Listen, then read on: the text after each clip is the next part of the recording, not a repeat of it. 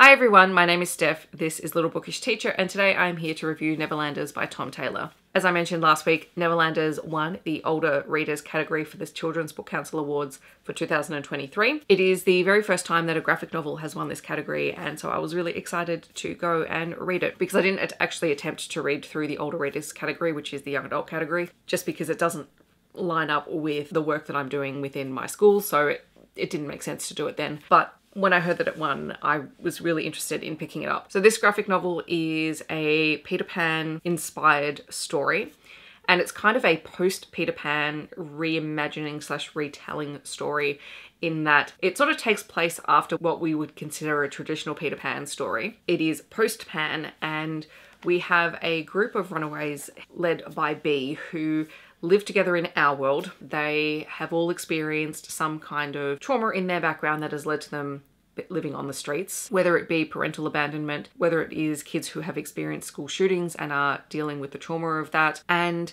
they have banded together, created this found family. They look after each other, they protect each other. And at the very start of the book, they meet Paco, who is new, and they invite him into their little group and offer to look after him if he's willing to be part of their family and look after them too. But as it turns out, Paco is originally from Neverland and he is one of the Lost Boys. And he ends up dragging all of them to Neverland. And this is done without their consent. And so when they get there, they're frustrated and upset and angry and also thrust into the middle of a war between what remains of Neverland and the humans who can't access Neverland because they have grown up and who want to obtain Neverland and the power that lives there. Paco is the last surviving member of the Lost Boys.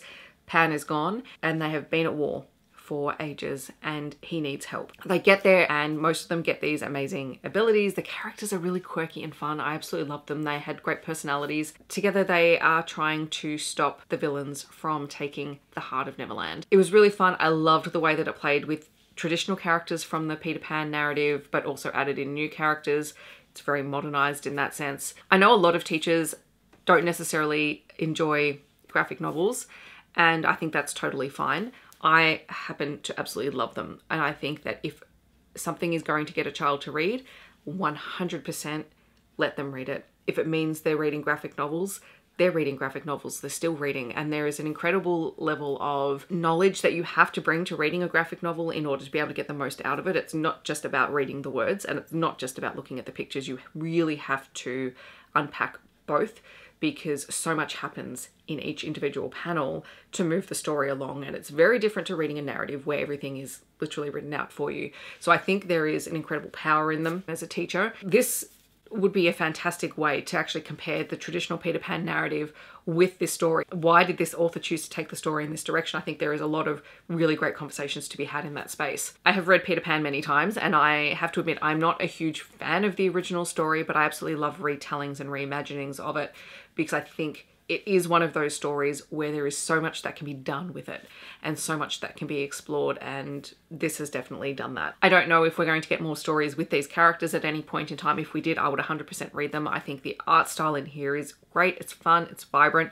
It's very reminiscent of traditional comic book superhero stories, but with a very as I said, bright color palette, so it's it pops off the page. I think it's very easily accessible for young adult readers, and I just had a great time with it. So I will leave it linked down below if you're interested in checking it out. It is action-packed, it is gritty, but it is full of heart and wonderful characters, and I just had the best time reading it. In the comments, I'd love to know if you have read this book or if you're planning on picking it up. Alternatively, if you have a favorite young adult graphic novel, feel free to share that recommendation down below. I'm always on the lookout for graphic novels to read. And if you just want to let me know that you're here but you don't want to leave a comment, feel free to leave a star emoji down below. I hope that wherever you're in the world, you're staying safe and healthy, and I will see you in my next video. Bye, everyone.